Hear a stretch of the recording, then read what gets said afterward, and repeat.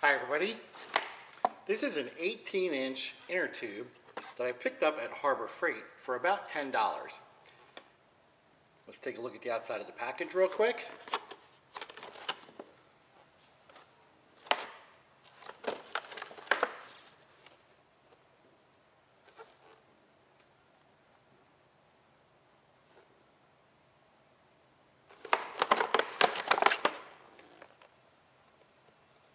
Let's open it up and see what it looks like.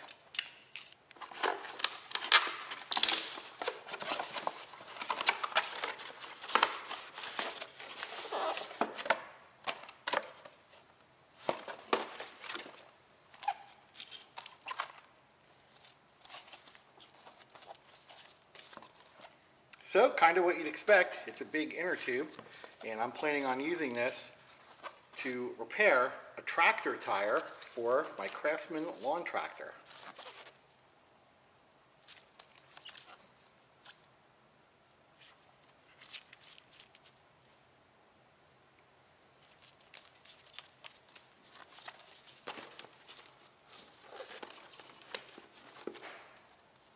Huh, that's funny.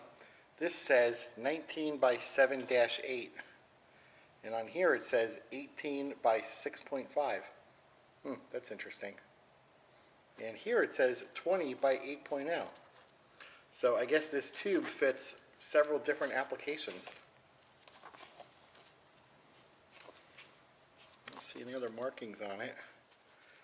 Right there it says SD-01. And then back to this again.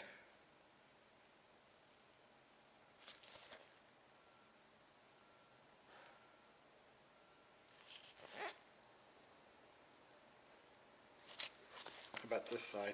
I see no markings on here, just a kind of a grid pattern. Probably to protect the tube from rubbing up against the side of the inside of the tire. So there you have it, inner tube from Harbor Freight. Pretty cool. Well, if you have any questions or any comments, post them below. And thanks for watching. And if you like my videos, please subscribe.